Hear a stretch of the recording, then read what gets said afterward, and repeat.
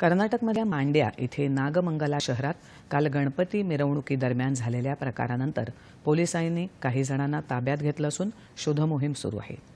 मिरवणुकीत एका धार्मिक स्थळापाशी समाजकंटकांनी दगडफेक केली त्यानंतर तणाव निर्माण झाला. यावेळी दोन तीन दुकानं जाळण्यात आल्याचं वृत्त आहे. खबरदारीचा उपाय म्हणून चौदा सप्टेंबरपर्यंत या परिसरात जमावबंदी लागू करण्यात आली. अतिरिक्त सुरक्षाही तैनात करण्यात आली आहे.